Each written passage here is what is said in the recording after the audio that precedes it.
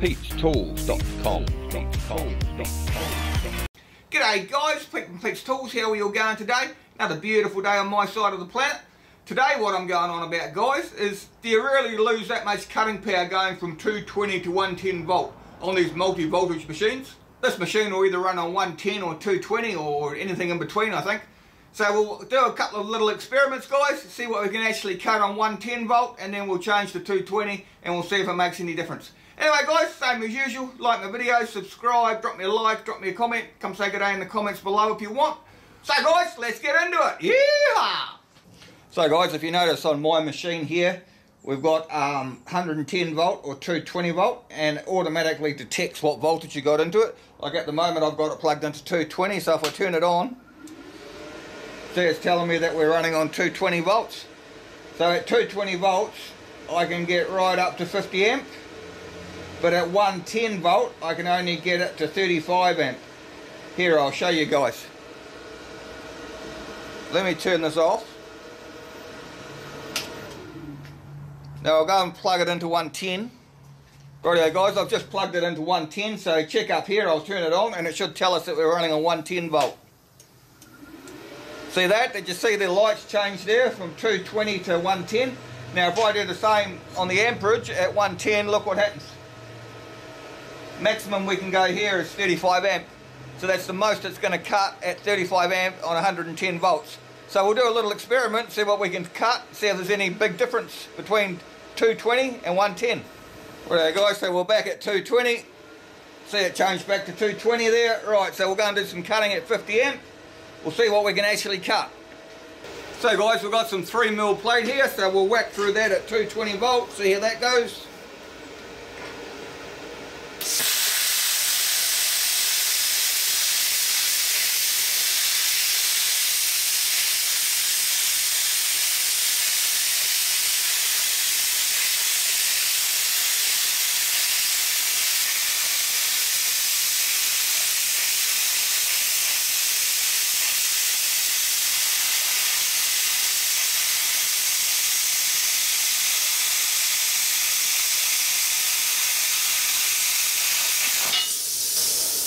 So that was no big deal guys, cut through that quite easily. So we'll go up a size a little bit.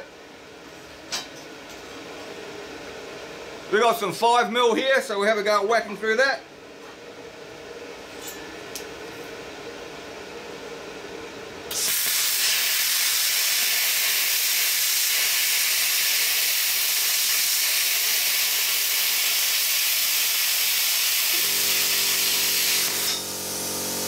Once again guys, no trouble whatsoever. Like a hot knife through butter.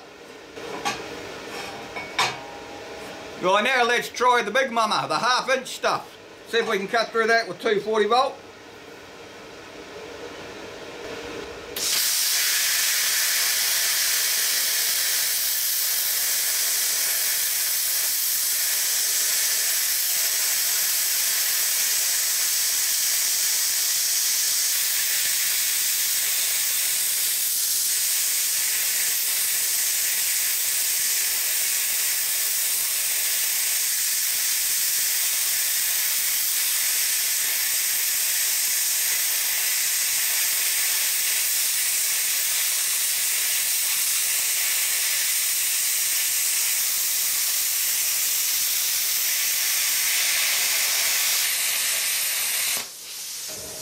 Here we go guys, it cut it. Struggling there a little bit, but we got there at the end. I think it might be the angle I'm holding the, uh, the torch because I think I had it on a little bit too much of an angle. But anyway, we managed to cut through it.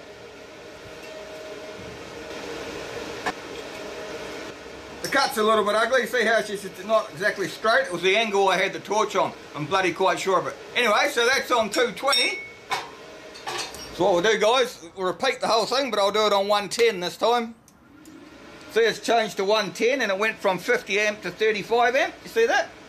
We've got down here 10 amp, maximum now is 35 because we're on the lower voltage. Right, right, let's do some cutting with that. Right guys, we've got 4 mil plate again. 110 volts, 35 amps.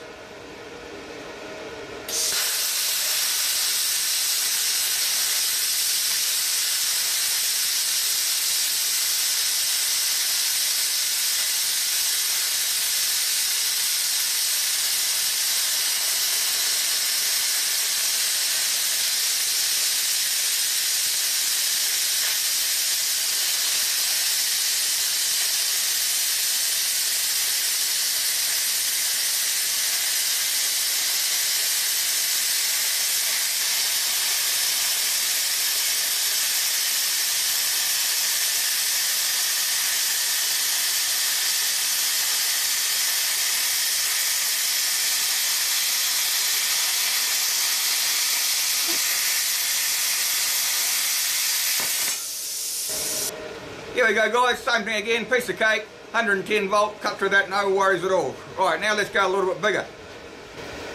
Right guys, 5 mil again.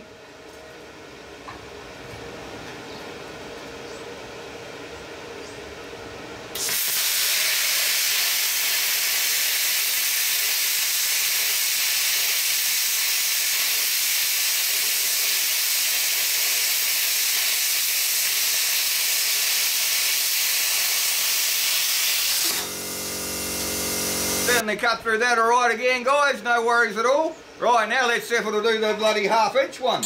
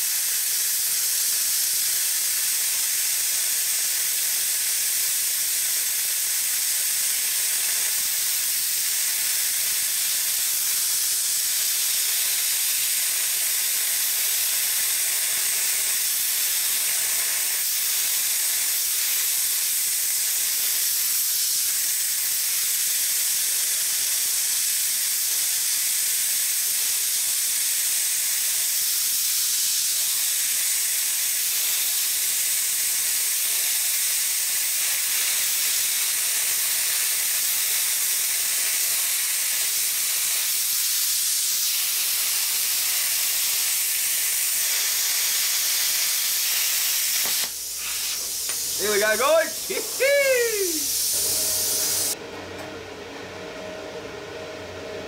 Once again guys, not a perfect cut. See we're cutting on an angle and it's the way I'm holding the torch. I'm quite sure as I've watched myself do it and I'm just holding it on, the, I'm just on a slight angle and it exaggerates it. The thicker you cut, the more the angle gets exaggerated. That's what I find anyway.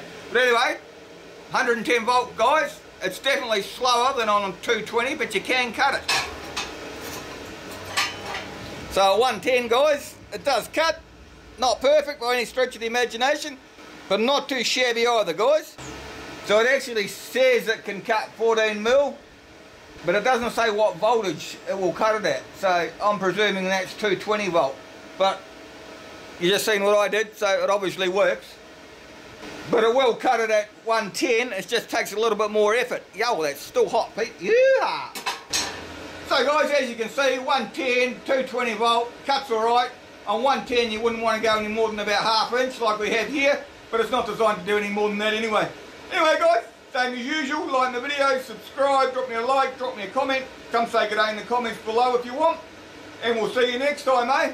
Oh guys, if you want to see a video about the review I did on this machine, check up here, I'll put a link up there for you. And if you want to know how to bend the steel but you haven't got a gas torch, check up there, I'll put another video up that direction. See you later, guys. Bye. Pete'sTools.com.